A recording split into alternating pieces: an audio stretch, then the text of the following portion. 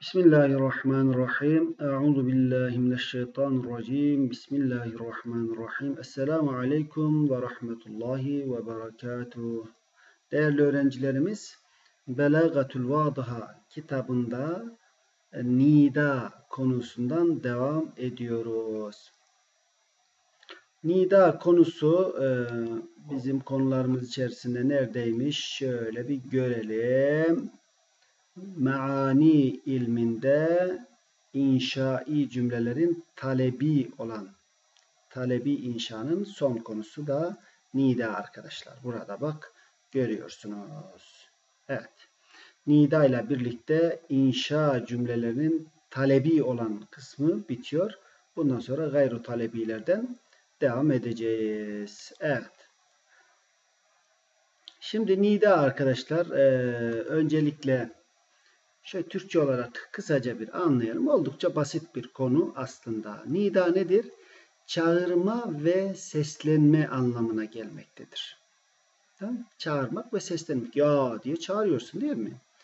Yani bu e, nidada aslında kullanılan edatlar ed'u, unadi işte sana çağırıyorum, sana sesleniyorum fiillerinin e, yerine kullanıldığı kabul edilmektedir. O nida harfler aslında bu fiillerin yerine kullanılıyor. Yani orada aslında gizli bir e, bu fiillerden birisi varmış gibi düşünüyoruz. Arkadaşlar nida edatlarını genel itibariyle biz ikiye ayırıyoruz. Yakın için kullanılanlar bir de uzak için kullanılanlar. Tamam mı? Genel itibariyle bunlar e, bu şekilde. Ama e, işte yakın için kullanılanlar hemze ve ey. E ve ey yakındaki birine nida etmek için kullanılıyor. Geri kalan şurada edatlar verdik. Şu geri kalanlarda uzakta olanlara nida etmek için kullanılıyorlar. Ama şöyle bir durum var. Bu kafanızı karıştırmasın. Yani yakın için kullanılan asıl itibariyle yakın için kullanılan edatların uzakta olan birisine kullanıldığı görülebilir. Birçok durumda kullanılabilir. Belli belagi sebepler, belagat açısından incelikler sebebiyle veya tam tersi de olabilir. Yani uzakta olan birisine nida etmek için asıl olan edatların yakında olan birisi için kullanılması da mümkün olabilir. Bunların belli belagi incelikler dolayısıyla bu kullanılabiliyor. Bak burada da yakın için kullanılan edatlar e ve e dedik. Fakat bu edatlarla uzaktakiler de yakında kabul edilerek çağrılabilir. Tamam mı? Duruma göre biz onu siyaktan, sibaktan veya karinelerden anlayabiliyoruz. Mesela şurada bir tane örnek vermiş mesela. Burada e, edatımız ne? E. Değil mi? E. Bu nedir? Normalde yakında olan biri için kullanılan bir nida edatı. Ama ne demiş? Ne demiş? Esükkâne ne'mânil arâki teyakkanû biennekum fi rab'i kalbi sükkânû. Diyor ki sükkâne ne'mân. Ne'mân el Irak bir tane bölgenin yerin ismi. Ey ne'manel erakin sakinleri teyakkanu. Yani iyi bilin. İyi bilin, uyanık olun. Bi enneküm şüphesiz siz fi rab'i kalbi. Kalbimin ortasında, kalbimin sarayında sükkanu yaşıyorsunuz. Siz uzakta olduğunuza bakmayın. Siz benim kalbimin saraylarında yaşıyorsunuz. Burada e demiş. Normalde çok uzak bir yerdekilere e kullanılmış yakındakine. Neden? Çünkü siz benim kalbimin sarayında yaşıyorsunuz. Siz uzak olduğunuza bakmayın. Benim dibimde gibi hissediyorum sizi demek istemiş. Burada bir belavi incelikten dolayı yakın için kullanılan edatı uzaktakilere kullanmış. Şu açıklamayı da okuyalım arkadaşlar. Naman-ı Erak Vadisi Mekke'de Taif yolu üzerinde Arafat'a uzanan bir vadi. Erak. Bu misvada buradan öğrenmiş olacaksınız. Erak, erake kelimesinin çoğulu olup misvak yapılan bir ağaç türüdür. erak ağacı bu vadide çoktur. O yüzden herhalde e, erak denmiş. Ne'manel erak. Tamam. E, söylediğimiz gibi bu beytte uzakta olan kişilere yakın için kullanılan hemze seslenilmiş. Hemze ile seslenilmiş. Bunun sebebi de çağırdığı kimseleri kalben kendisine yakın hissetmesidir. Evet. Kısaca yani uzakta olanlara yakın için kullanılan edat kullanılmış. Bunu görmüş oldu. Şimdi geri kalan edatlar da uzakta olanlar için kullanılıyorlar. Bunlar neymiş? Ya, a, ay, eya, heya, va bu edatlardır. Tamam e, Şu ya edatıyla ilgili bir şey var nedir? E, hem yakın hem uzak için ortaktır. Ya gerçekten ikisi için de kullanılıyor. Ama belagat alimlerinin çoğu bu ya edatını da uzak için e, kullanılan edat kabul etmişler çoğunluk. Biz de öyle kabul edip geçiyoruz arkadaşlar. Tam ya da uzak için kullanılıyor. Ee, ve bu ya edatı çoğu zaman özellikle dualarda ya edatı cümleden hasfedilir. Bu ya edatı bazen cümlelerden hasfediliyor imiş. Özellikle dualarda. Mesela Estaizu billah Rabbi cealni muqimes salati ve min zürriyeti Rabbena ve teqabbel dua. Rabbi cealni Rabbim beni kıl muqimes salat namaz kılanlardan eyle. Ve min zürriyeti ve soyumdan zürriyetimden gelenlerden de e, namaz kılanlardan eyle onları da Rabbena ey Rabbimiz ve tekabbel dua dualarımızı kabul eyle. Burada Rabbi ne demek aslında? Ya Rabbi'dir değil mi bu? Ya Rabbi takdirinde. Buradaki Rabbena da Ya Rabbena takdirindedir arkadaşlar. Dualarda bu ya nida edatı çoğunlukla düşebiliyor imiş. Mesela şurası da önemli arkadaşlar. Allah ismiyle duada ise Ya Allah ya Allah kullanılmaz pek ya da çok kullanılmaz diyelim. Kullanıldığını pek göremeyiz bunun. Onun yerine ne kullanılır? Allahümme. Allahümme ne demek? Ey Allah'ım demek. Bu ibare kullanılıyor. Ya Allah deyince belki çok da insanların hoşuna gitmiyor. Bu daha güzel, daha latif olan Allahümme, ey Allah'ım. Aslında ya Allah demektir bunun anlamı değil mi? Ama Allahümme şeklinde bu ifade ediliyor arkadaşlar. Şimdi uzak için kullanılan edatlarla yakındakiler de uzakta kabul edilerek çağrılabilir. Yani bu edatlar dedik ya uzak için kullanılıyor. Sadece uzak için kullanılır diyemiyoruz. Nedir? Bazen ee, nedir? Yakınındaki kimseler uzakta kabul edilerek yakın yerine bu uzak edatları kullanılabiliyor. Peki şu açıklamayı okuyalım şurayı. Yakındakini yanında ama onu uzakta kabul eden edat kullanmanın sebebi ne olabilir? Yakındakini uzakta kabul etmenin sebepleri ise muhatabın işte dalgınlık ve gafleti olabilir işte makamının büyüklüğü ya da küçüklüğü olabilir. Yani çok yüce bir makamdır. Ona uzak edatıyla nida edersin ya da çok aşağıdadır. Onu da uzak kabul ediyorsun. Tamam mı? Çok büyük ya da çok aşağılamak istiyorsun. Onu da uzak edatı kullanarak yapabiliyorsun.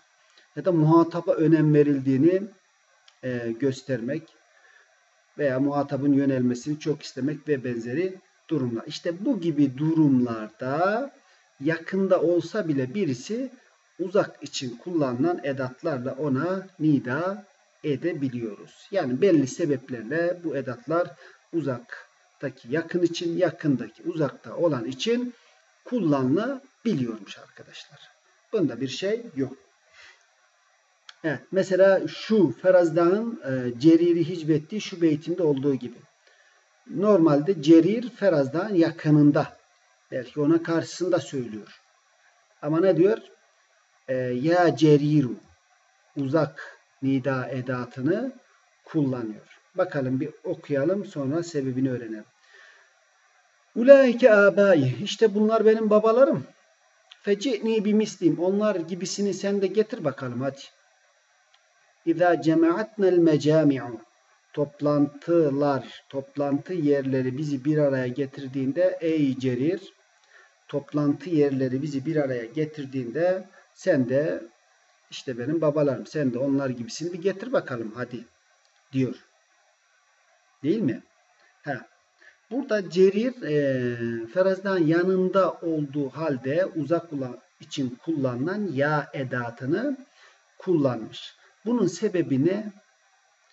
Aslında Ferazdak Cerir'i küçümsemek için, onun durumunun e, değerinin, kıymetinin az olduğunu ifade etmek, ona karşı da böyle övünmek için, o ben çok yüksekteyim, sen aşağıda çok uzaktasın demek için burada uzak edatını kullanmış yakında olduğu halde.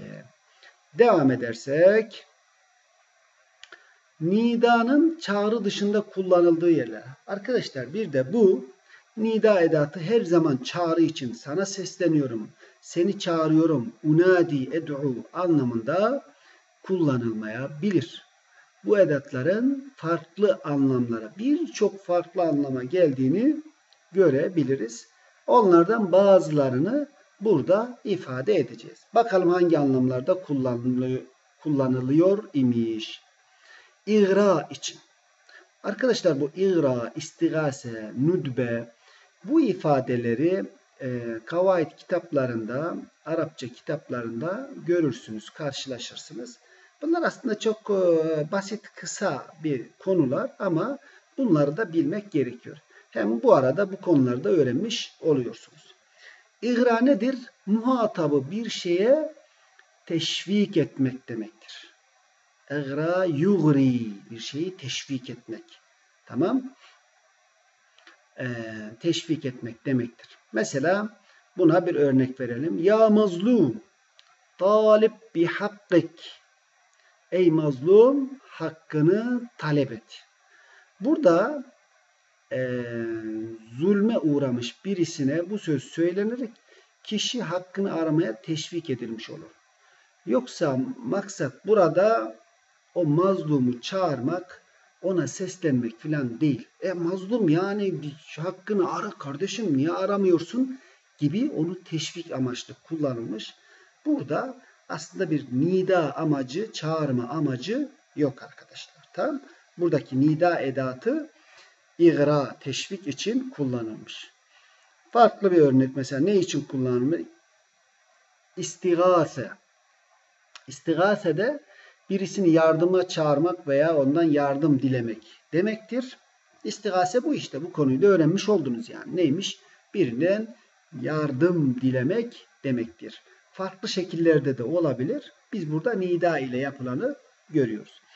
Bu üslupta ya nida harfinin yanında fethalı lam harfi ceride kullanılır. Ha, buna dikkat edelim. Mesela ya lennasi lil garik ya lennasi lil garik Mesela burada ne demiş? Ey insanlar lil garik boğulana yardıma koşun. Tamam. Şuradaki le arkadaşlar fethalı lam. Bu da harfi cer kabul ediliyor. Tamam Ya len nasi. O yüzden burası e, nedir? Kesralıdır. Ya len nasi. Ey insanlar boğulana yardım edin. Yardıma koşun. Burada yani insanlar yardıma çağırıyor. İnsan, ey insanlar size sesleniyorum filan değil. Yardım edin, yardım edin. İnsanlar yar, boğulana yardım edin anlamında yardım dilemek için kullanılmış. Bir de nüdbe için kullanılabilir. Nüdbe bir kimse için veya bir şeyden dolayı acı duyularak yapılan nidaya denilir. Aslında burada da bir nida var ama acı duyularak özellikle e, ona dikkat edelim arkadaşlar. Acı duyularak yapılan nidaya denir. Bu üslupta ne kullanılıyor? Va nida edatı. Va nida edatı kullanılıyor. Bak bizdeki gibi aslında. Vah Muhammeda. Vah vah vah Muhammed. Tam ona e, üzülündüğünü, acı duyulduğunu ifade ediliyor. Ve mu'tasima. Ah muhtasım vah vah vah gibi. Ya da va ra'si ah başım acı duyuyor. Ya da va zahri gibi ah sırtım gibi. Anlaşıldı? Buna bir de beyitten örnek verelim. Ebul Ala el-Ma'ari'nin şu beytinde olduğu gibi. فَوَا عَجَبًا كَمْ يَدَّعِ الْفَضْلَ نَاقِسٌ وَوَا أَسَفًا كَمْ يُزْهِرُ النَّقْصَ فَاضِلٌ Diyor ki فَوَا عَجَبًا ne acayiptir ki, ne ilginçtir. Çok açı. Kem yedda'il fazle nakisim. Nakıs olan niceleri fazilet iddia eder noksan eksik olduğu halde fazilet iddiasında bulunuyor. Ve va esefen kem yuzhiren nakse fazilun. Faziletli olduğu halde noksan olduğunu söyleyenler söyleyen niceleri de var. Ne yazık ki ne üzücü ki diyor burada fevva va ne yapmış? Nida edatını kullanmış. Nüdbe. Yani o şeyden acı duyulduğu ifade edilmiş oluyor. Başka nida ne e, anlamda kullanılabilir? Taaccüp için kullanılabilir. Şaşırma için. Tamam. Yani insanı hayrete düşüren durumda. Bu hem güzel beğenilen durumda hem de insanın hoşuna gitmeyen durumlarda da kullanılabilir. Mesela ya lel ma'i ne güzel su. Ya le cemali rabi şu baharın güzelliğine bir bak ya. Ne güzel bir bahar şaşkın. Bunlar güzel şeyler. Ya le devahi o şu ne sıkıntılar şu felaketlere bak. Burada da taaccüp için kullanılmış. Şu açıklamaya dikkat edin arkadaşlar. Nida edatıyla kullanılan bu iki ifade yapı olarak istigaseye dahildir. Yani bir önce istigaseyi görmüştük ki ya nida edatından sonra bir de ne gelir demiştik? Fethalı lam harfi ceri gelir demiştik. Bunda da aynı şekilde geliyor. Yapı olarak istigaseye benziyor. Ama burada herhangi bir yardım isteme söz konusu değil. Ya lel mai ey su senden yardım istiyorum değil değil mi? Ne güzel su.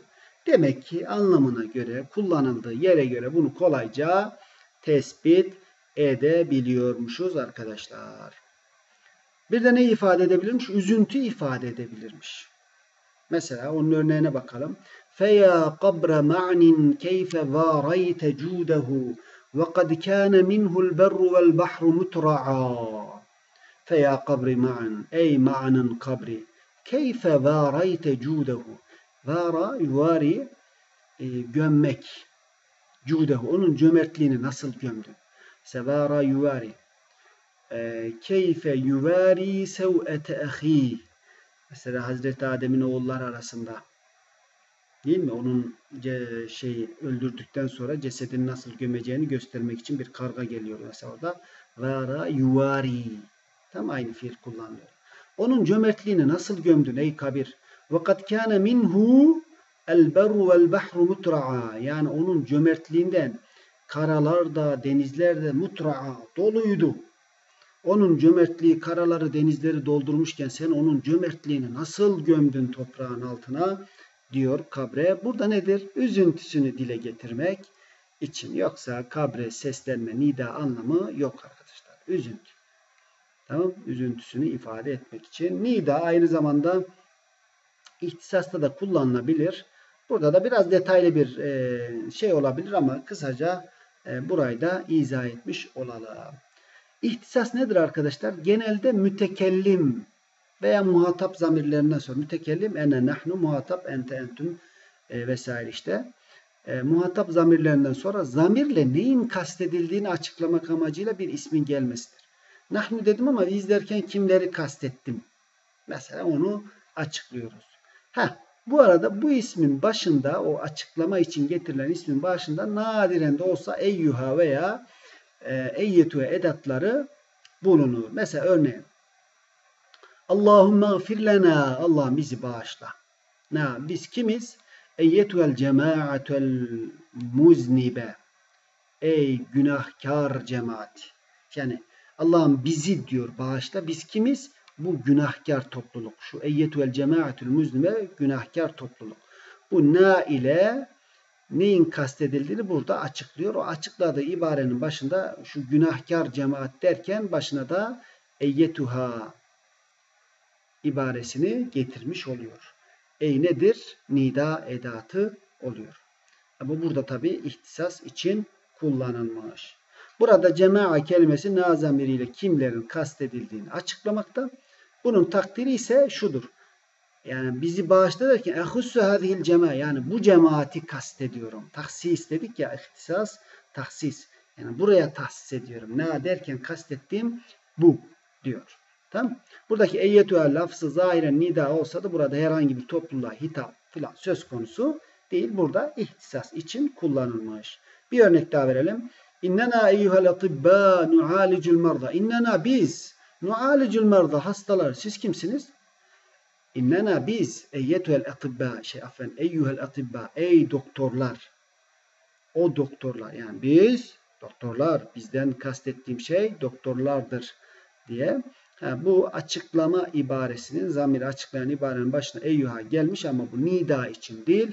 Buradaki tahsiste açıklanan kelimenin başına gelmiş. Tamam?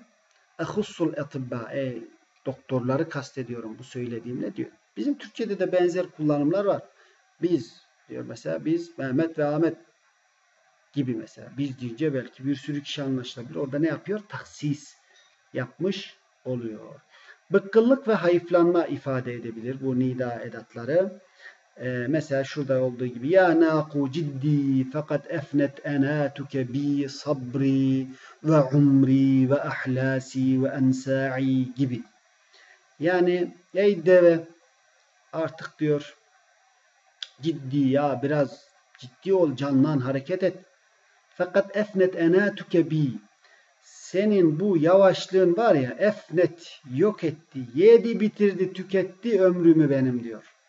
Sabri, sabrımı, ömrümü, ahlasi, o keçeler filan ve ensai, urganlar, ipler yolculukta kullandığı vesaire eşyalarını eskitmiş, yok etmiş. Canlan biraz ey deve diyor. Burada nedir? Ya bıktım senden ey uyuşuk deve diyor. Bu kısım arkadaşlar Profesör Doktor Ali Bulut'un kitabından aldık. Türkçe izah ettik. Kolayca anlayasınız diye. Şimdi buraya kadar olan kısmı arkadaşlar özetle söylersek nedir? Nida nedir? Çağırma, seslenme anlamlarına geliyor. Bunlar ed'u ve unadi varmış gibi sanki başında. Bu fiillerin yerine geçen edatlarla yapılıyor. Bu nida edatlarında ikiye ayırıyoruz arkadaşlar biz. Yakın için kullanılır, uzak için kullanılan edatlar olmak üzere. Yakın için e ve ey, uzak için de geri kalanları uzak için kullanılıyorlarmış. Ama hiç bunları yakın uzak için kullanmadık. Dikkat ederseniz.